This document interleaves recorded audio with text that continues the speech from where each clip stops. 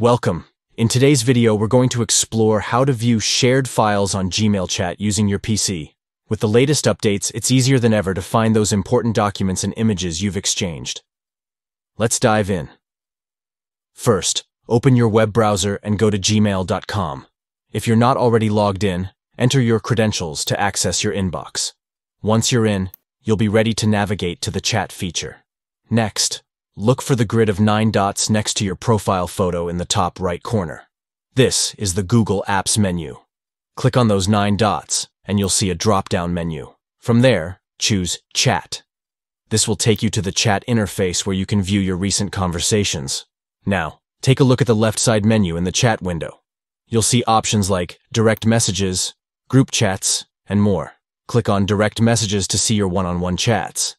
This section lists all the people you've chatted with directly. Once you've found the person you want to check shared files with, click on their name to enter the chat.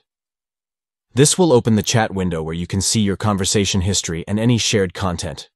At the top of the chat window, you'll notice several tabs, one of which is labeled Shared.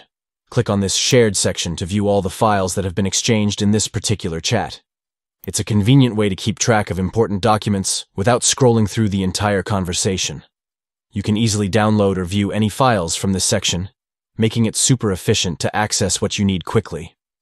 Plus, if you're collaborating with someone, having all shared files in one spot is a real time saver. To recap, to view shared files on Gmail chat, open gmail.com, click on the nine dots next to your profile photo, select Chat, navigate to Direct Messages, enter the chat, and click on the Shared section at the top. Thanks for watching.